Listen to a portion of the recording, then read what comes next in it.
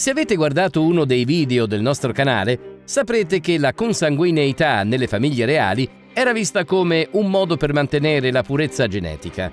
I matrimoni tra famiglie nobili assicuravano che nessun gene comune contaminasse le linee di sangue pure e aristocratiche. Cosa potrebbe mai andare storto? Sebbene tutte queste famiglie si aspettassero che i matrimoni stretti mantenessero più forti le loro famiglie reali, in molti casi le malattie, la pazzia e l'infertilità dovute alla consanguineità finirono per indebolirle. Questo video vi mostrerà 5 monarchi che presentavano difetti e mutazioni causati dalla consanguineità. Cominciamo con un esempio ovvio, il re spagnolo Carlo II, l'ultimo della linea degli Asburgo. Frutto di una lunga discendenza asburgica, Carlo II, soprannominato lo stregato, soffrì di problemi congeniti fin dalla nascita. La sua famiglia era in crisi quando si trattava di consanguineità. Carlo era cugino di primo grado di sua madre e pronipote di suo padre. Sua nonna era anche sua zia, quindi il suo intero albergo genealogico derivava da un'unica coppia, Filippo e Giovanna di Castiglia. Carlo II era noto per avere la cosiddetta mascella asburgica o labbro asburgico, caratterizzata da una lingua troppo grande, un morso profondo, una mascella inferiore sporgente e un labbro inferiore ruvido. La deformità è tecnicamente nota come prognatismo mandibolare. La lingua rendeva difficile la masticazione e provocava un'eccessiva salivazione, per cui spesso stava con la bocca semiaperta e sbavava continuamente. Ha avuto anche uno sviluppo lento, avendo difficoltà a parlare anche da adulto. Fu allattato al seno fino all'età di 5 anni e non ebbe mai un'istruzione formale.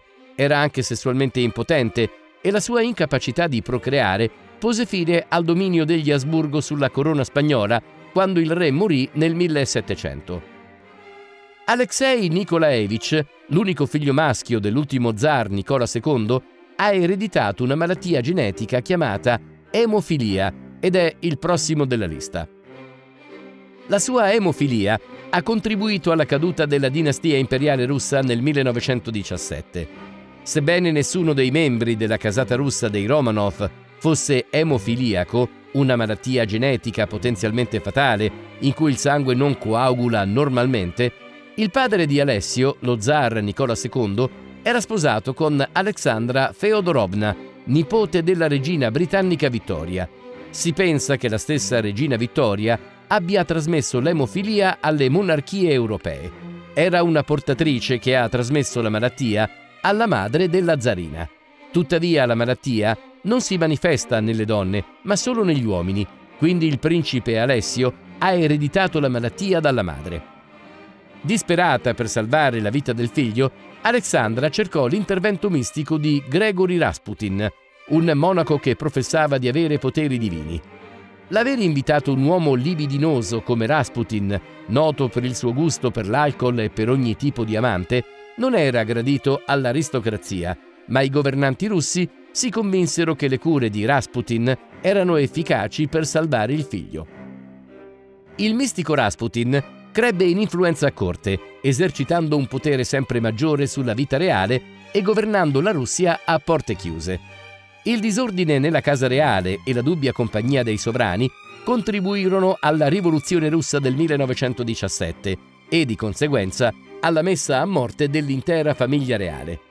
Torniamo indietro nel tempo per parlare del faraone Tutankhamon, meglio conosciuto come Tut. Nonostante sia molto famoso, Tutankhamon ebbe un regno davvero breve. Gli esami del DNA sul corpo mummificato del re Tut rivelano che questo sovrano egiziano del 1300 a.C. circa era in realtà un disadattato genetico dal corpo debole a causa della tradizione reale egiziana di sposare fratelli e sorelle. Il re Tutankhamon salì al trono all'età di 9 anni e sopravvisse solo fino all'età di 19 anni. Probabilmente aveva una paratoschisi, piedi storti e scoliosi, oltre a un cranio allungato e deforme. La prima volta che il corpo del faraone bambino è stato sottoposto a un processo di scansione digitale è stato nel gennaio 2005, quando la mummia è stata estratta dal sarcofago e trascritta utilizzando 1700 immagini di un attack. l'indagine si è concentrata sulla comprensione delle probabili cause della morte di Tut. L'attacco effettuata ha rivelato che il faraone aveva subito una ferita alla gamba pochi giorni prima della sua morte. La teoria possibile per la sua morte è che potrebbe aver avuto complicazioni infettive generate da una ferita alla gamba durante una sessione di caccia che gli ha fatto contrarre la malaria. L'altra teoria è che Tutankhamon sia morto per un'infezione alla gamba in seguito a un grave incidente con il carro. Ma c'è ancora molto da studiare su questo argomento che non è ancora stato risolto. In questo momento non possiamo determinare come Tutankhamon sia morto. È possibile che ciò che lo ha ucciso non abbia lasciato tracce. Una cosa è chiara, in giovane età ebbe diversi problemi causati da malattie genetiche. Per il nostro secondo spot parleremo di Re Giorgio III d'Inghilterra, conosciuto come il Re Folle. Con un regno notoriamente funestato dalla perdita della rivoluzione americana, Re Giorgio III aveva probabilmente una malattia genetica che influiva sulla sua mente più visibilmente che sul suo corpo. Si ritiene che soffrisse di porfiria, una malattia che rende l'urina del paziente di colore blu-violaceo e che porta ad attacchi di follia, sebbene anche l'avvelenamento da arsenico e il disturbo bipolare siano stati suggeriti come probabili cause. Giorgio III disertava regolarmente i suoi doveri reali per ritirarsi in isolamento e curarsi a Kew Palace. Era incline a deliri e per tutta la vita fu sottoposto a trattamenti estremi, tra cui camicie di forza, sanguisughe e bagni di ghiaccio per calmarlo. I test medici contemporanei dimostrano che la porfiria era un fenomeno comune nella casa di Hannover, altamente allevata, a cui apparteneva re Giorgio III. Trascorse l'ultimo decennio del suo regno in clandestinità e alla fine perse la vista eludito, morendo il 29 gennaio 1820. Per completare la nostra lista, arriviamo ora a Ludovico II di Baviera. Proprio come sua cugina, l'imperatrice d'Austria, il re Ludovico II di Baviera faceva parte dell'antica dinastia dei Wittelsbach. Per generazioni la famiglia aveva praticato la consanguineità e i suoi effetti stavano lasciando il segno. Ludwig era noto per essere fuori dal contatto con la realtà, ma scelse di vivere in una fantasia di sua creazione, cosa che sarebbe andata bene se non fosse stato un re con un lavoro da fare. Mentre lui costruiva castelli e navigava su barche a forma di cigno, il governo bavarese si strappava i capelli per l'inettitudine e la dissolutezza del suo re. Nato nel 1845, trascorse l'infanzia travestendosi, recitando e isolandosi dal resto del mondo. Divenne re a 18 anni, senza alcuna formazione o esperienza formale, ed evitò la sua posizione di capo di Stato per il resto della sua vita. Il contributo più duraturo di re Ludwig II alla storia del mondo è forse la costruzione di Neuschwanstein, il castello tedesco che ha ispirato i progetti di Walt Disney per i castelli di Cenerentola e della Bella Addormentata. Luigi ha profuso tutte le entrate reali in questi progetti, indebitandosi pesantemente e ignorando tutti i tentativi dei suoi ministri di ostacolarlo. Tutto ciò fu poi usato contro di lui per farlo dichiarare pazzo e deporre.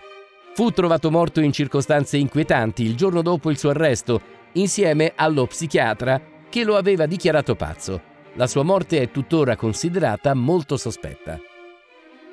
Oggi avremo un bonus. Parleremo di Ferdinando I d'Austria, che soffrì di una serie di disturbi mentali e fisici, ma regnò per 13 anni.